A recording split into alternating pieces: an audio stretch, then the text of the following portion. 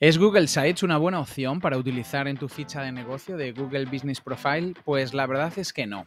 El servicio gratuito de Google para la creación de un sitio que puedes encontrar en sites.google.com no es la mejor opción según dice el propio John Muller. Y lo dijo en respuesta a la preocupación de alguien que decía que las páginas de su sitio web en Google Sites no estaban siendo indexadas por Google. Según Muller, eh, desde el punto de vista del SEO no es la opción ideal y puede ser complejo rastrear por el propio Search Console. Además, recomienda el uso de un dominio real en lugar del dominio predeterminado de Google Sites, que esto facilita el seguimiento del rendimiento de Search Console y la verificación de la propiedad del dominio.